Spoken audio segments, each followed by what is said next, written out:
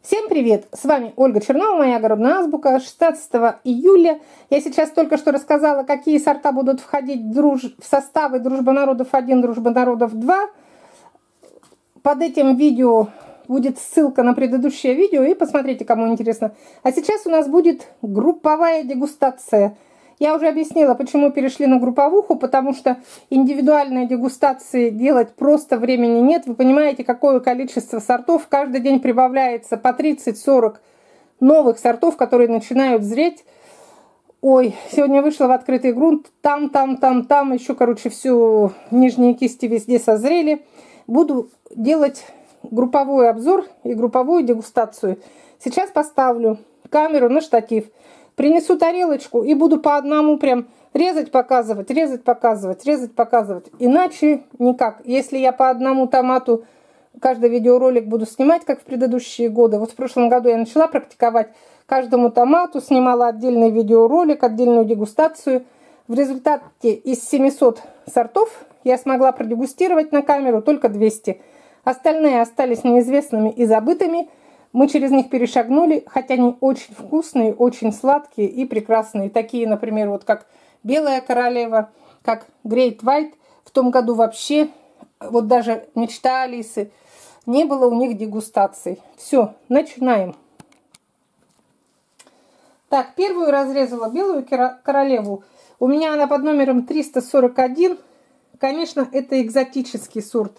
Индетерминантный. Плоды такие плоско-округлые, белые. Вес может быть большой. От 350 до 500 и выше. У меня вот это удалось. Я даже взвешивать не стала. Я сразу поняла, что она более полукилограмма. Прям тяжелая. Плоды очень сочные. И главное, что они сладкие. Если посмотреть на очень спелый плод, который ну, что-то солнце мало им. Смотрите, такие розовые прожилки. Это значит, что он созрел. Несмотря на то, что она белая королева, она вся вот в таких розовых прожилочках. Семенные камеры небольшие и мякоть, конечно,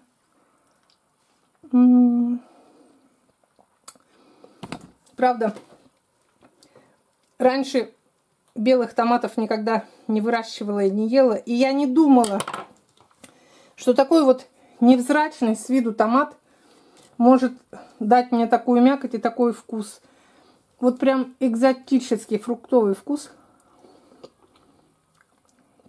Ясно, что ни о какой кислинке здесь речи быть не может. Она какая-то... Все-таки запах томатный есть, как бы аромат присутствует.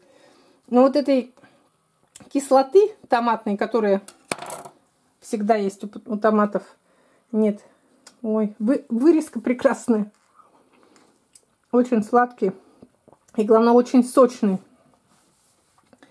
И они, видите, у них есть такая способность. Они прям вызревают до, до прозрачности. Очень вкусно. Сейчас еще одну могу вам разрезать. Сейчас скорее выковырять семена и скорее их все скушать. Ну, семян, как обычно, мало. Все камеры пустые почти. Но на то они и редкие коллекционные томаты. Все, это белая королева была. Белая королева будет входить в состав набора «Дружба народов 2». Хочется эти томаты переименовать, назвать их медовые. Следующий томат будет вот этот Great White. Почему я их вместе соединила? Потому что они очень похожи. Его называют еще одно название великолепный белый или большой белый, потому что у них с белой королевой похоже цвет мякоти и вообще вкус и цвет мякоти. Но Great White отличается тем, что он с интенцианом. И вы видите, что вот эти чернильные черные плечики – это вот отличительная черта его. Он под номером 423 входит в состав набора «Дружба народов 1». Тоже индетерминантный, тоже редкий коллекционный, вырастает до 2 метров. Классическая форма, плоскоокруглая. И вы видите разная степень почерненности. Вот эти из теплицы, где меньше солнца, там меньше. Вот эти чернильные, на которые разлили что-то, это с улицы. И у него тоже есть такая способность, что он сначала... У него просто вот такая желтая макушечка. А при хорошем созревании, видите, лопнул даже. У него появляется даже вот такие вот розовые штрихи. Это, ну, вам звонок уже в колокол он мне бьет, что я поспел, пора меня снимать. Это явный знак, что томат созрел. Смотрите, какая красота. Мякоть такая же, как у белой королевы, как бы, как ее назвать, желтая. Но ее зовут почему-то белая мякоть, белый томат, белая мякоть. Но она, конечно, желтовата. И вот он в начале сезона полностью зеленый. Ну а здесь красных нет. Видите, этот еще не поспел. Ну как, он не поспел? Вообще он спелый. С него можно семена собирать, можно делать салат. Но он не поспел до той степени, когда мы полную сладость почувствую. Нет, тоже сладкий. Очень удивил меня. Он вроде бы и не поспел. Просто ему солнышко, наверное, не хватило. Пишется везде, что мякоть светлая молочного цвета. Но я вам скажу, что она не молочного цвета все-таки, а желтая. С красными. При полном созревании с красными. Все. Вот такой у нас второй сорт, который я сейчас продегустировала. Это Great White 423 из Дружбы народов номер два. Следующий прекрасный, красивейший сорт, тоже уже классический такой, из редких коллекционных, это «Мечта Алисы». У меня в каталоге он под номером 333. Отличается тем, что очень большой такой у него мощный куст, очень мясистые и объемные листья. Он у меня в центре уральской теплицы высажен там, где я говорю, что все томаты-гиганты у меня растут, вот такие очаровательные помидорки, тигровые. Они могут быть, например, с большим количеством налета фиолетового. Вообще у них фиолетовые плечики, но так же, как и у Грейт Вайта, на улице больше налет фиолетовый, а в теплице, там, где немножко у нас поменьше света, там мало заметно вот этого вот антоцианового напыления. Сейчас разрежем, но по опыту второй год уже выращиваю. Я знаю, что томат, конечно, сладкий. Смотрите, на разломе, на разрезе, вернее, вдоль, вот в подшкурном, вот в таком вот в этом месте, прям малиновые разводы и малиновый развод в центре. Это все показывает на то, что плод вызрел, плод сладкий, его уже можно употреблять. Мечта Алисы, так же как Great White, э, находится в наборе «Дружба народов 1». Все эти семена уже сейчас можно заказать и купить. Все это есть в наличии. Если предыдущие сорта были прям очень экзотические, вот как Great White, как Белая королева или, например, Мечта Алисы с таким экзотическим видом, то следующий вот этот вот Яша Югославский, он просто коллекционный сорт, который семена не продаются в магазине, но на вид он выглядит более просто. О нем хочу сказать, если про мечту Алисы я говорила, что она в теплице вырастает огромная, больше двух метров, у нее толстый стебель, мясистые листья – то Яша Югославский выглядит намного скромнее, хотя он тоже индетерминантный. И у него тоже росточек-то, дай боже, больше двух метров может вырасти. Но у него листья другого строения, они такие пониклые и тоненькие. Вот я уже сравнивала, что он похож как на батяню.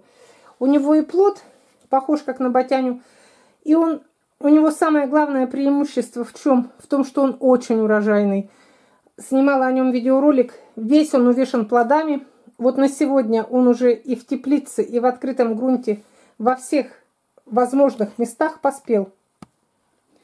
Мякоть этого томата очень похожа на сорт говядина с куста и мамино малиновое сердце. Вообще они чем-то немного похожи, потому что у них кусты не великаны, а скромные, плоды крупные, сердцевидные – много мякоти и вкус прекрасный. Вот это классический томат коллекционный. В дружбе народов один находится. Кто будет заказывать? Так, я сейчас изрежу те томаты, про которые я рассказывала. Потом групповое наше вот такое дегустацию, осмотр продолжим. Не буду сильно заостряться на тех сортах, которые я уже описывала. Вот у меня здесь целый лоток лежит говядина с куста. Но про нее есть видеоролик, есть дегустация. Она у меня описана со всех сторон. И она находится в наборе «Дружба народов 1». Многие уже выписали ее, кто-то, наверное, даже уже и получил. Сегодня я перескочу через нее, потому что и без нее очень много описаний, а про нее уже очень много информации на канале у меня есть. Смотрите. Следующий томат-красавец, он немного похож вот на предыдущую мечту Алисы, но существенная разница в том, что у Алисы она тигровая, у нее просто полоски, а это биколор. У него вот эти вот штрихи, они как бы в мякоти. Очень нравятся томаты биколор, считаю их вообще самыми-самыми сладкими. Всего недавно начала выращивать, всего 4 года. И уже они в любимчики попали, ну, очень вкусные и сладкие. Вот эта интуитивная прозорливость 344 тоже название у всех на слуху, известное среди коллекционных томатов. Если описать, то почти такая же, как другие, индетерминантный, то есть это высокорослый. Плоды до 500 граммов могут вырасти. Ой, смотрите, открывается такое томатное великолепие без семян, к сожалению. Все, сейчас еще одну открою. Сначала они становятся желтыми, потом начинаются красные штрихи появляться. Ну, тут даже говорить нечего, что очень сочные, очень сладкие, очень сложные к разведению. Видите, семенных камер нет. Можно кушать одно сплошное томатное мясо. И, конечно, мякоть поразит вас своей сладостью. Вот меня опять не задача. Где взять семена, семена прозорливости? Нету. М -м -м, вкусно. К сожалению, мало семенные. Тоже, наверное, будет в одном из наборов. Пока я ее никуда не определила в какой-то набор. Вот хочу специально поднести вам поближе. Смотрите. Видите, сплошное мясо. Обычно у наших, у сибирских, они тоже мясистые, но у них вот эти края все равно какая-то часть занимают семенные камеры, в которых вот эти вот семянки лежат. А здесь вообще одна мякоть. Вот я только что говорила вот о прозорливости, которая считается коллекционным томатом, редким. Но еще интереснее следующий сорт, вот этот вот. Он у нас в стране, в России, вообще его очень сложно встретить ну совсем редкий. Розали большая роза. Сорт американский. И в Америке это семейный сорт. Он передавался из поколения в поколение. Вот в Америке есть такая мода. Они томатные реликвии сохраняют в несколько поколений. Вот этому томату более 200 лет. Он такой, ну, на вид он просто обычный, можно подумать, что томат – он розовый, такой ярко-розовый. И форма у него, как пишут, плоско-округлая или сердцевидно-округлая. То есть он, вот плоско-округлая, например, мечта Алиса, она вот такая. А это сердцевидно-плоско-округлая, он вроде бы как идет вверх, а потом раз и заканчивается. Но все равно он как плоский, он не остроконечный. Очень красивый цвет, насыщенный такой, розовый. Ну, Розали, большая роза, наверное, в честь какой-то Розали, девушки или мамы было названо. Скорее всего, у них много подтоматов именных. Ну и на разрезе он очень прекрасно выглядит. Алый такой цвет, равномерный, без каких-либо белых стерженьков, без включений. Смотрите, какой прекрасный прям алый, розовый, розовый, ярко-розовый цвет. Сейчас еще одну разрежу. Конечно, это мясистый. Конечно, это относится он к бифтоматам, которые мясистые, сладкие, сочные. Очень хорошие. Ой, ну все. Все пропало, все поуроняло. Сейчас, подождите, нож подниму, помою. Сейчас еще продегустируем, чтобы составить представление полностью об, об этом старинном семейном сорте. Розали Большая Роза. Пока что тоже ни в одном из наборов его нет, но, возможно, какой-то третий или четвертый дружба народов он войдет, потому что это именно вот старинный сорт, американский, и его стоит выращивать, достойный сорт, очень урожайный. Так, я сейчас отрезала, если говорить о вкусе, то он больше – подходит к, к обычному томатному вкусу, чем вот интуитивная прозорливость или мечта лица. Он такой. И у него более крепкий, мощный куст. Но он такой не скромняга.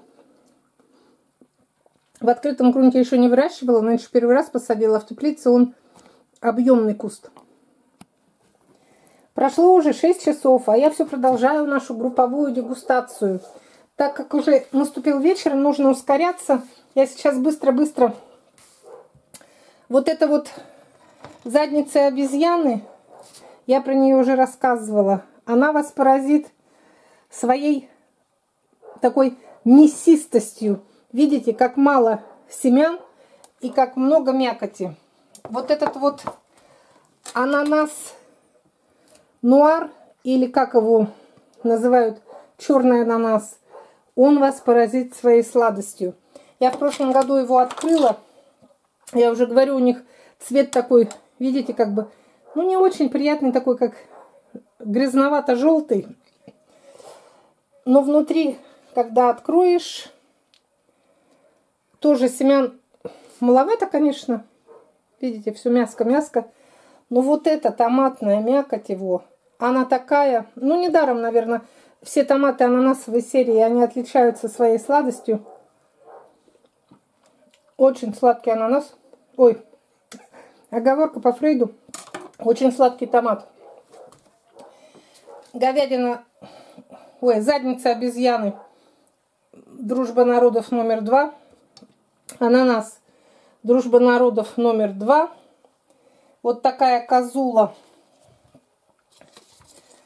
вот как они, как бы такие удлиненные плодики, тоже очень-очень сладкие бикалуры. Так, козула 156 и 141, по-моему. Сейчас надо бумажку найти. Сейчас найду бумажку. Я по номерам козулы еще все точно не помню. Их много номеров, они все разные. Да, вот эти остроконечные биколор козулы 141. И вот это 156, совсем другая. Потом у меня остались вот экзотика. Сейчас посмотрю, какой номер. Да, вот эти, это очаровательные Тайдай Беркли. Редкие коллекционные. А вот это вот прекрасный сорт ладошки, который очень интересные плоды. Они всякие рифленые, бывают формы. Я сегодня, скорее всего, даже и не успею все их изрезать. Вы видите, что какое огромное количество лучших томатов со всего мира сейчас спеет. Без как это не фигура речи, что со всего мира, а правда. Из Бельгии, из Польши, из, вот есть тут и из Африки, из Америки. Короче, отовсюду, отовсюду, со всех стран. И вот сейчас как раз та самая пора, когда мы задумываемся, а какой томат нам выбрать на будущий год. И вот во время как раз таких обзоров, во время дегустаций я рассказываю и о свойствах томата. Вот сегодня меня поразил мясистостью это Розали Большая Роза и Яша Югославский. Я вот когда Яшу Югославского резала, я все внутренности из него съела. И Розали Большая Роза тоже поразила своей такой мясистостью. А мечта Алисы поразила своей сладостью. Очень сладкая оказалась. Вот прям такая сладкая-сладкая-сладкая. Я надеюсь, вам понравилась наша вот такая групповушка, потому что иначе отдельно сорта описывать это еще дольше. Я сегодня и так целый день вот порежу до камере, порежу до камере, чтобы у вас хоть какое-то представление складывалось о тех томатах. Ну, когда вы, например, печатный текст читаете, чтобы вы немножко представляли, какие они себя на внешний вид, на вкус. Конечно, впереди еще у нас половина июля, август, еще весь сентябрь дегустирую томаты. Смотрите, выбирайте. Если вам понравилась вот такая вот групповая, как я даже не знаю, ну, короче, просто групповуха, вот это наше, это или дегустирование, или обзор групповой, напишите, я тогда в следующий раз опять разложу, вот буду когда резать 8-10 сортов, и про них буду все по, по очереди рассказывать. Если кого-то интересует какой-то отдельный сорт, особый, то я не буду перешагивать через него, а расскажу более подробно. Вы же видите, тут через какой-то перешагнула, какой-то просто вот остались они там не описаны в лотках. Очень жалею, что не успела описать черный ананас, потому что он потрясающий. Очень жалею, что не успела описать клубнику шлоубах, но уже времени нет. Мне или садиться резать конкретно, или описывать. Очень жалею, что желтые вот эти оранжевые не описала Вольф Зоси и доктор Вич потрясающие томаты. Короче, томат один вкуснее другого. Какой выбрать, решайте сами. Все, подписывайтесь на мой канал, ставьте лайки, пишите комментарии, задавайте вопросы. До свидания.